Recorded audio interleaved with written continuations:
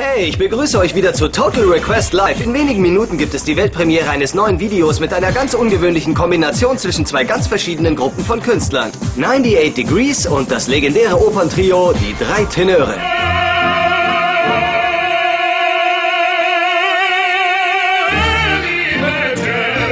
Zu Besuch bei uns im Studio, um diese Weltpremiere zu feiern, sind Nick, Justin, Jeff und Drew Hallo, von Pastor, 98 hallo, Degrees. Was geht ab, Hey, Leute? sag mal, ihr habt das noch nicht gezeigt, oder? Nein, gezeigt haben wir es noch nicht.